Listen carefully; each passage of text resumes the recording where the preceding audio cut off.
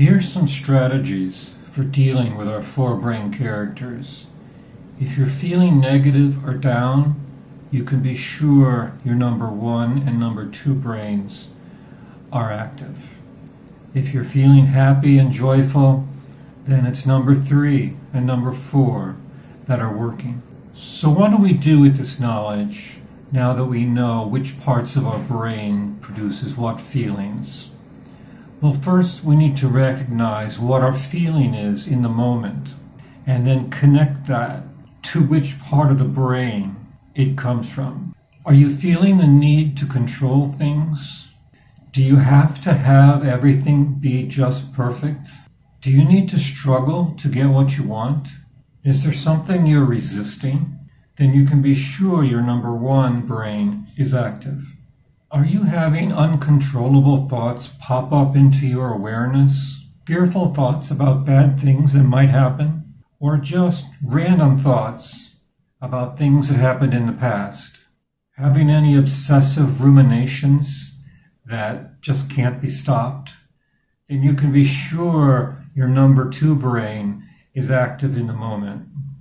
At its worst, it could produce irrational anxiety feeling overwhelmed or hopeless, and that you just have to take some action to solve a problem?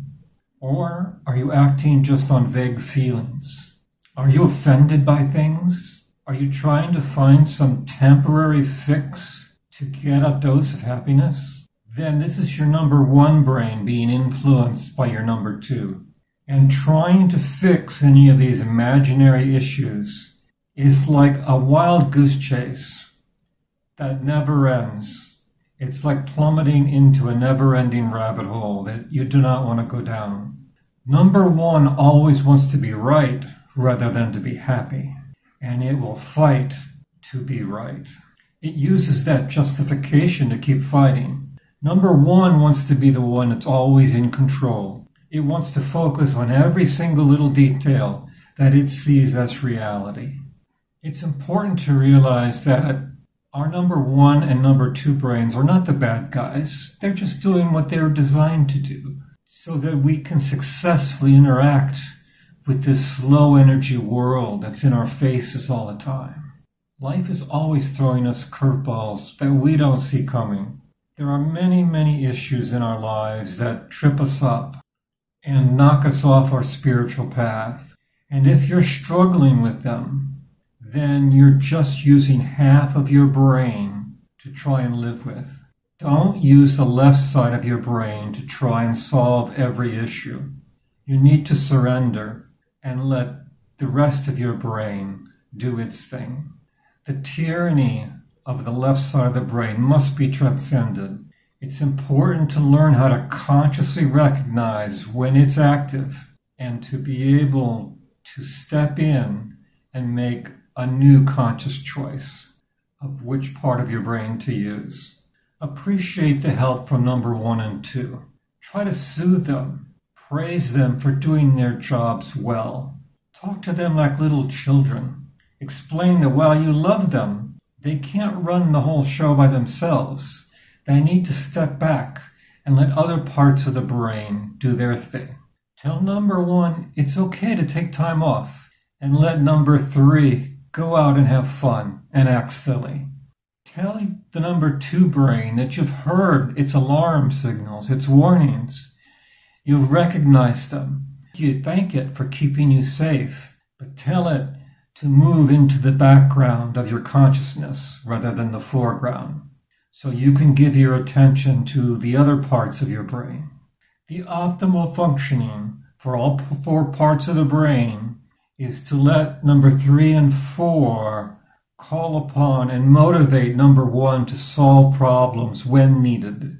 This is best exemplified by the saying, do what you love, and your number one brain will knock itself out to make it happen. The ideal way to use our brains is for number three and number four to work together. Then you're in the sweet spot of feeling joy and happiness, in feeling joy for all things. Number one is put into standby mode, waiting for instructions from number three and number four. It's there to help you when you need it. And number two runs unnoticed in the background and is ignored as much as possible. It's valuable to think of number three and number four as dormant until they're fed. So you need to have tools to activate them and keep them running. You have to actively take charge of this process and make it a priority in your life. Number three wants to go out and play and have fun. Do something silly just for fun. Create a playlist of inspirational songs that you can sing and dance to. Collect things that make you laugh. I like to look at funny animal gifs and memes.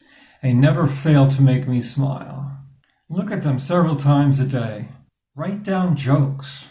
Watch programs that make you laugh. Spend time happily daydreaming about your goals. Visualize positive outcomes until you can feel the happiness that's associated with achieving that result. Our number four brain is a speech center. So a good way to activate it is to use affirmations.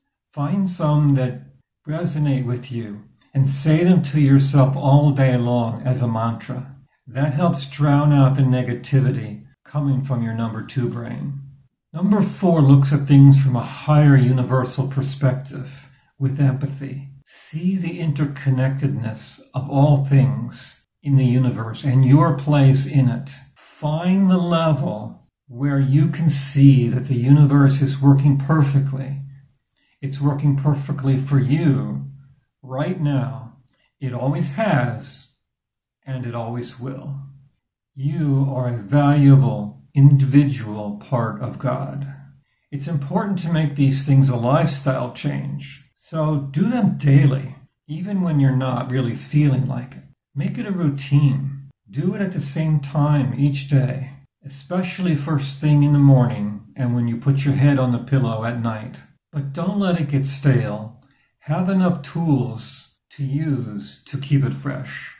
Sticking to your daily routine is vital to raising your vibrations higher and creating positive momentum. You don't get to alignment through thinking, but by feeling. You've got to feel your way there. Positive words can help trigger the better feelings. Besides feeding number three and four, you also need to stop the obsessive ruminations of negative thoughts that come from number two.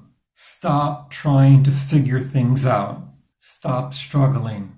Surrender. As I said, you don't get there by thinking. You get there by feeling it. You can't think your way to higher vibrations. You have to feel it. The spiritual seeker's path is one of joy, love, and appreciation. Momentum is the secret key that not many people talk about, but that's what we're going to address next. I welcome any positive comments, suggestions, or questions down below. A thumbs up, subscribe are always welcome. Please keep watching. We have a lot more to discuss.